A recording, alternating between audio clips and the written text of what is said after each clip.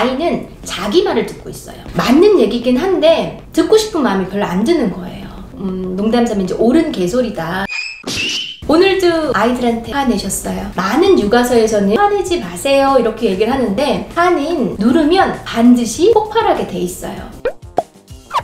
뭐가 가장 많이 화가 나세요? 그럼 정말 다양한 이유들이 나와요. 안 먹고, 안 자고, 뭐 음식 뱉고, 동생이랑 싸우고, 뭐 숙제 안 하고, 자기 할 일 안 하고. 근데 그 중에서도 제일 많이 나오는 게 여러 번 말하는데도 안 듣는 거. 아이는 자기 말을 듣고 있어요. 엄마 말이 아니라 자기 지금 감정과 자기 욕구. 그러니까 뭔가 막 무리하고 있는 애. 빨리 와서 밥 먹어. 빨리 와서 옷 갈아입어. 이렇게 얘기를 하면 아이는 지금 그 놀이가 너무 재밌는 거예요. 가야 될 이유를 몰라요. 음, 농담삼아 이제 옳은 개소리다.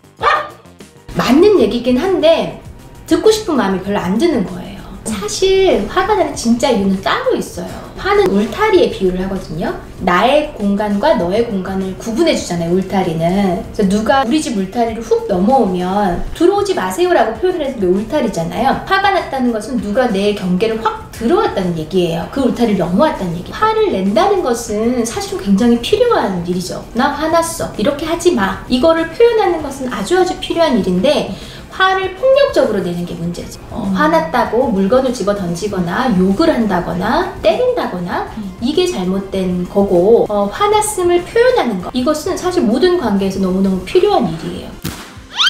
낮버 반반이라고 얘기를 하죠.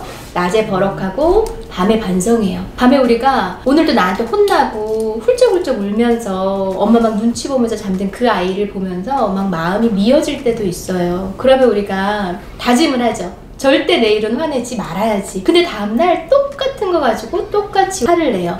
왜냐면 반성이 아니라 자책을 했기 때문에 그래요.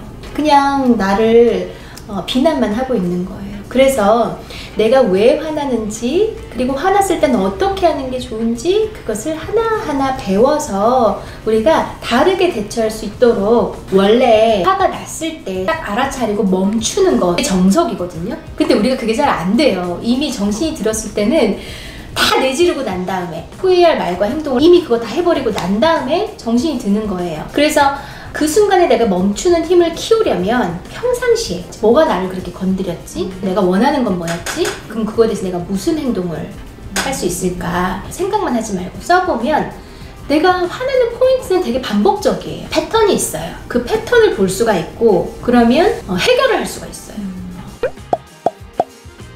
제가 가장 핵심적으로 전해드릴 건 뭐냐면 화난 이유를 너무 잘 모르고 계세요. 대부분 애가 이래서요 라고 얘기하시거든요. 근데 우리의 화는 99%의 부모님들이 모르는 화의 진짜 이유를 남편도 아니에요. 제가 강의에서 말씀을 드릴 거예요.